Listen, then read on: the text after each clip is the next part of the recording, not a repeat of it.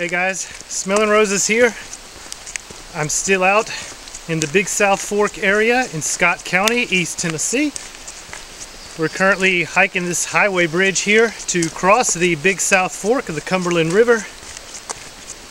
And on this rainy day, we're gonna do a little bushwhacking adventure and we're gonna attempt to reach Bandy Creek Falls. So come along, let's go check it out. Can see here the river from the middle of the bridge. Just out of camera view there is the confluence of Bandy Creek with the Big South Fork Cumberland River. So we're going to bushwhack through here along the river and once we reach Bandy Creek we're going to head upstream. Not sure exactly how far it is but uh, it's at least a mile to a mile and a half. It could be a little bit further. But we're just going to follow Bandy Creek upstream until we find the waterfall. These steps are part of the John Muir Trail and you guys actually saw me and Caveman Outdoors hike this section of the John Muir Trail when we were here last year but uh, we've actually got to go this way so time for the adventure to begin. There's no trail here. This entire hike is going to be all bushwhacking through the woods. Probably going to get wet and dirty on this one, but it's going to be a lot of fun.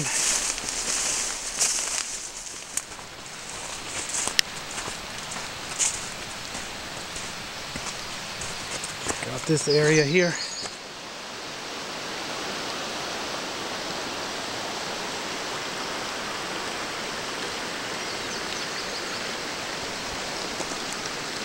Well guys, my best guess tells me that this is Bandy Creek and we're going to attempt to follow this creek upstream until we find Bandy Falls or Bandy Creek Falls. Bandy Creek Falls is a 45 foot waterfall. It's a combination single drop and cascade here on Bandy Creek and I'm expecting some thick vegetation and steep terrain. So hopefully we'll make it to the falls. I really haven't done the pre-hike planning and preparation that I would normally do, especially for an off-trail adventure like this. Usually requires a little more planning, but course here in East Tennessee I'm well outside of my normal my normal area so we're just gonna wing it on this one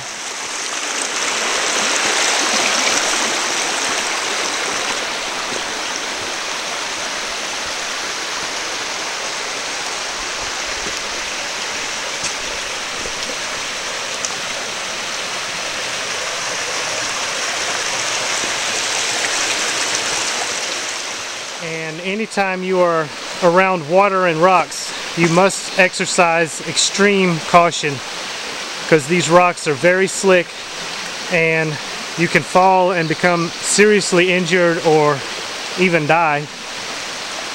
And I also want to stress the importance of letting someone know where you are.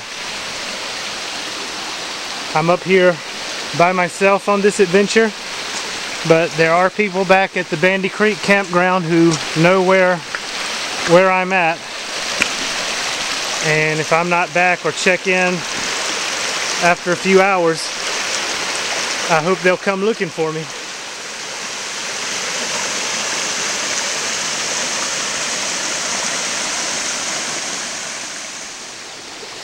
Wow look at that guys. That is cool Definitely looks like something out of Jurassic Park or something.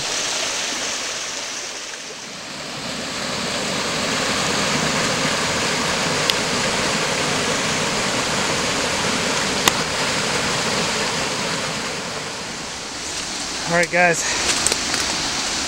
I'm doing what I didn't want to have to do, which is get away from the creek and go uphill a bit. And I'm in some very thick well, actually, this is not that thick rhododendron. Little thicket of rhododendron here.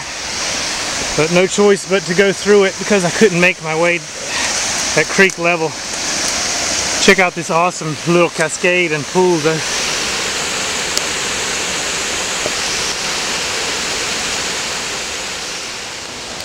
Even if we don't make it to the falls, I would say this hike has been a success so far. It's really beautiful in here. The farther upstream we go, it gets more interesting but also even more difficult. Alright guys, I've climbed even higher above the creek now than, than I was before. I had to climb over a boulder field there was no way to get by those big rocks. The water was too deep to try to traverse it safely. And climbing over the rocks was also not an option. Made it back down to creek level. There's a large pool here and a nice cascade up ahead behind this awesome rock. So I'm going to try to maybe get over there and come up from this side and see what see what we have ahead. Well guys, I actually went up around there and it's kind of a no-go. It's going to be a very difficult to approach from that side. So you just have to be patient and adapt to your situation when you're on an adventure like this. So I'm going to backtrack. I'm actually going to have to go back up the hill a short distance and try to come down right over there and then I think I can get a good view of the cascade. Alright guys, just to tell you how difficult this is, it took me almost 20 minutes to get from right there to right here. Very tough going getting through this spot. The terrain up here is just very steep. It's nearly vertical. Everything is very wet. And of course you just have to move slow and go carefully we do have a nice view here of the cascade. Multi-tier cascade starts down here by this cool rock. You can see it working its way up there. This is not the kind of place you want to make a mistake. So what I'm going to do is, once again, I'm going to climb back up the side of this gorge and try to work my way upstream up there. Guys, you just have no idea. Tree roots are definitely your friend on a climb like that. That's nearly vertical.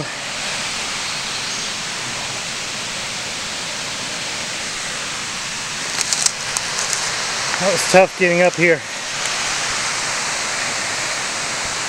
still steep up here, but a little more manageable than just above the creek down below. Gonna try to make my way in this direction here. I'll stay within earshot of the creek so we don't get sidetracked. But I believe the creek will take a bend in this area and if I'm right about that, it means we're getting close to Bandy Creek Falls. So as I'm walking along, I noticed what looked like an old roadbed, so I climbed just a little further uphill and you can see this remains of an old road, barely noticeable. Could be an old logging road or perhaps dating back to the time when this would have been farms and homesteads. I normally don't like hiking on roads, but after what I just went through, this is a welcome sight can still hear the creek down in the gorge below and occasionally I get a view of some nice small cascades. Well guys, my friendly road ended a while back and I am back in the jungle. I've been trying to make my way through another thicket of rhododendron and a lot of people think of the tropical parts of the world when you mention the word jungle but if you've ever tried to navigate rhododendron, you know what an American jungle looks like. Oh man, this is cool.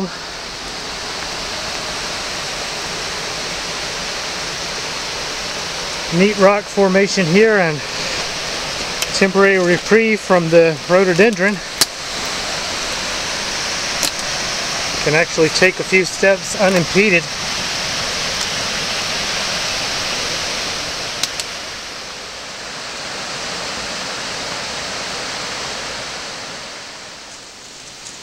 All right.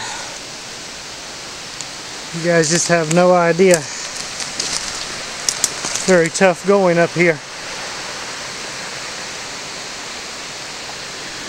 And very slow progress. Check out these awesome rocks, guys. And it's sort of a vein of rock that goes as far up the ridge as I can see. There's really no way around it. But I actually found a, a crack between two boulders and I was able to scramble down through there.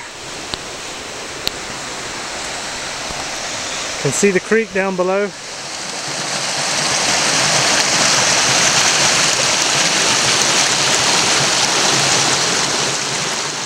Alright guys, I'm not gonna lie, I nearly gave up several times but I knew I was too close to the falls to turn back and just through the trees there I can catch a glimpse of the top of a very tall cascade. I believe we've made it. Just a short distance through here and we'll be at Bandy Creek Falls. An incredible effort. Honestly one of the most difficult bushwhacking trips I've ever done but well worth it.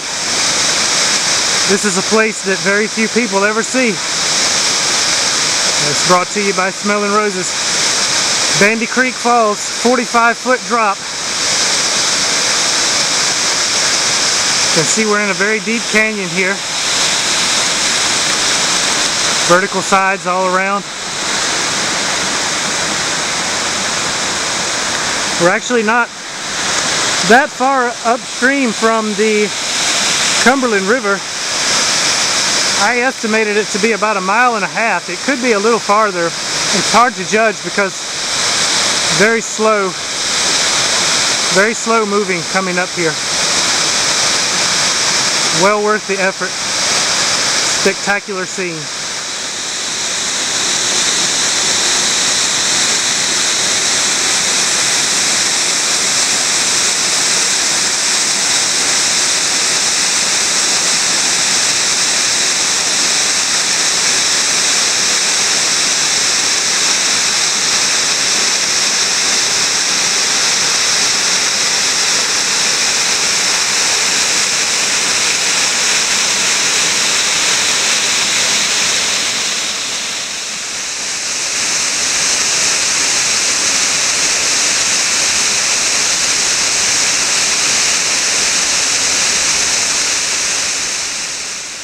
Not going to do any filming on the way out unless I see something really interesting. Uh, I'm just going to concentrate on finding my way back out of here safely. I, there are any number of hazards in this area and it's extremely dangerous in places like this.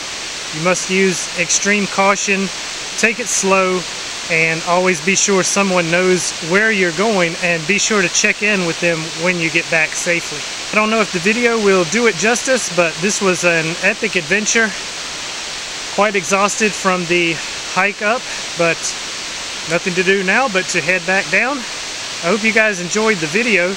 As always, thank you so much for watching. I really appreciate all your views and support, and please be sure to leave me a comment down below. Thanks a lot, guys, and as always, I'll see you on the trail. Let's see, I've made it back down to the river made it safely out of the gorge. It was just as tough coming down as it was going up. I see the weather has improved a bit since I started this adventure and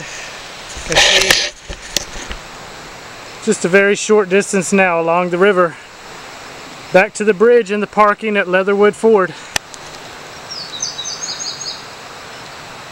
Thanks again for coming along. Really appreciate all your support guys. Thanks for watching.